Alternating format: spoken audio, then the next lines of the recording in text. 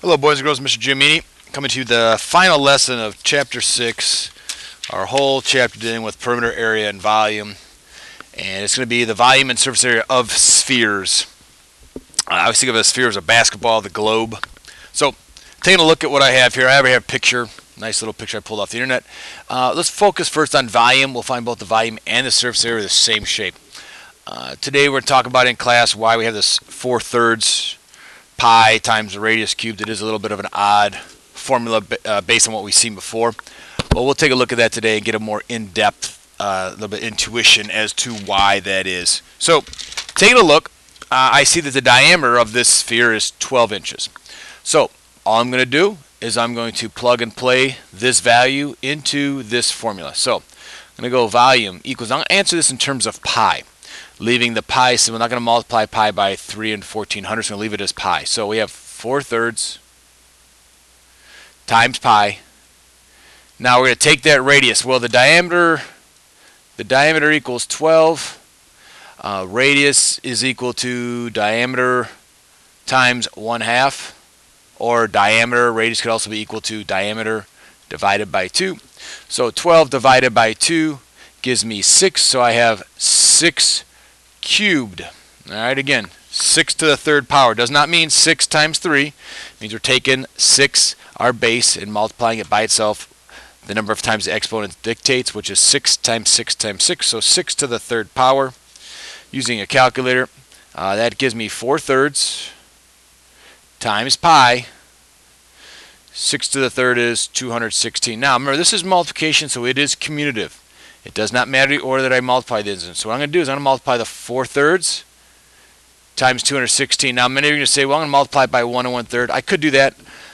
I'm just going to, I could also do it something like this. I could say, hey, 4 thirds, and I convert 216, make it into a fraction, which is really 216 divided by 1.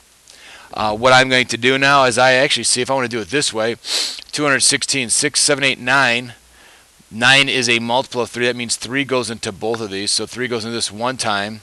Uh, 216 divided by 3 gives me 72. I would then have 72 times 4, which gives me 288. And my answer in terms of pi would be 288 pi. And then it is cubic inches.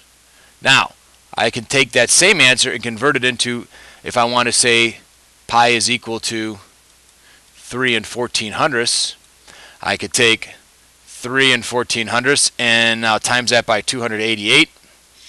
That'll give me an answer of 904 and 32 hundredths, which typically they've been asking us to round it to the nearest tenth. So that is 904 and 3 tenths, and that is also cubic inches. Okay, so I actually have two answers here in terms of pi and then in terms of using 3 and 14 hundredths to represent pi. Okay, that is for volume. Now, I'm going to erase this stuff. I'm going to come now with the surface area formula. I'm going to keep the same shape and actually the same diameter slash radius and radius to kind of help us expedite the process here. So let's take a look. All right, surface area. This might help if you ever, one day in the future, wrapping a globe or a basketball up for somebody as a gift. Uh, so, we now have 4 times pi times radius squared. So I think of area, I think of squaring something. I think of volume, I think of cubing it. So when kind of discussing or thinking about what do I square the radius or do I cube it, think about when you're doing surface area, you square it, the answer. When you volume, you cube it. So that might help you remind uh, remind you about the formula. So I'm going to answer in terms of pi again and in terms of using 3 and 14 hundredths for pi. All right, so let's answer in terms of pi. First, we have 4 times pi times the radius, which we determined before was 6, and it's the radius squared. Okay, uh, I now have 4 times pi. Uh, 6 squared, 6 times 6 gives me 36. Because multiplication is commutative, I would just multiply 36 times 4. That gives me 24. That gives me 144 pi. And I have the same unit of measure. That is inches, square inches, sorry. And now if I want to answer that in terms of using 3 and 14 hundredths, let me make that little inches a little nicer for you. Or that square, sorry. If I want to answer it now in terms of using 3 and 14 hundredths to represent pi, I would then go 3 and 14 hundredths times 144. So 3 and 14 hundredths times 144. And that would give me the following answer. I have 452 and 16 hundredths, but I want to round that to the nearest tenth, so that would give me approximately 452 and 2 tenths, and it is also in square inches. All right, hope that helps. Have a great day. Bye.